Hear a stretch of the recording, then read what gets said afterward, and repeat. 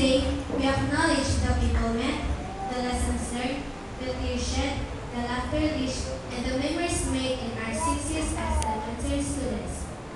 Today, we show our teachers, our parents, and most importantly, ourselves, that we're no longer children.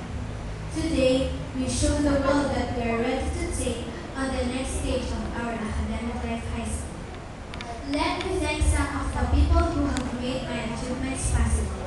I might not be able to mention all of you by name, but rest assured that I'm infinitely grateful to everyone who has put me on this stage today.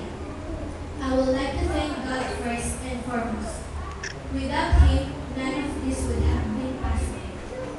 I would also like to thank my parents, Mr. Elmer Engalla and Miss Nella Singmalia.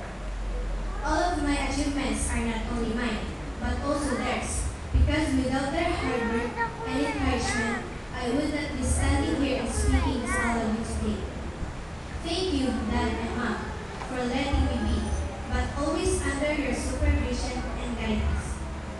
Thank you for giving me the opportunities to explore and to discover my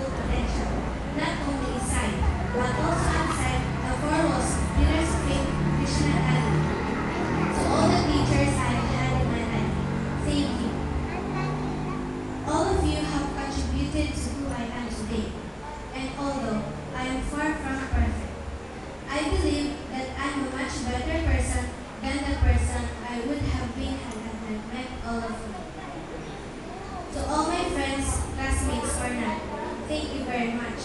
The journey to success is different for every person. Sometimes it does take slow, but giving up should never be an option.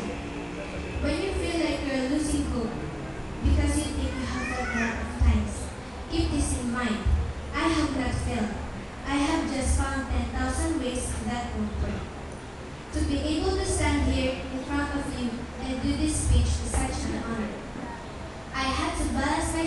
Between academic requirements, extracurricular activities, and the time I spent socializing with my family and friends. In the end, it was all worth it. Lastly, I would like to thank God first, the Father Almighty.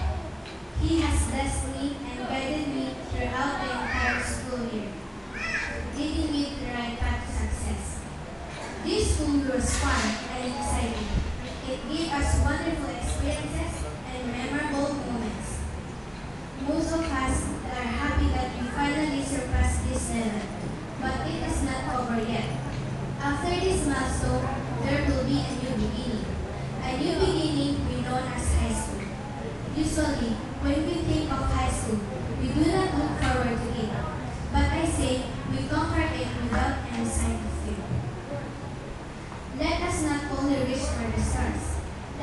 vocês